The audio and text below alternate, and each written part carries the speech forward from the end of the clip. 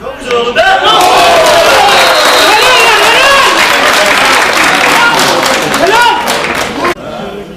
Ergün. Anahtar nerede? İçeride abi oldu.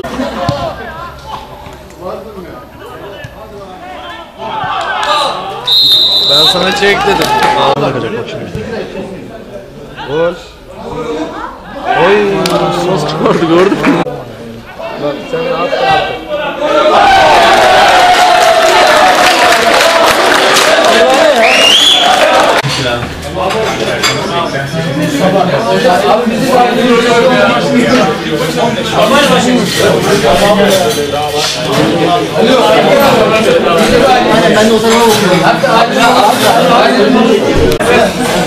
Destek istiyor musun hocam?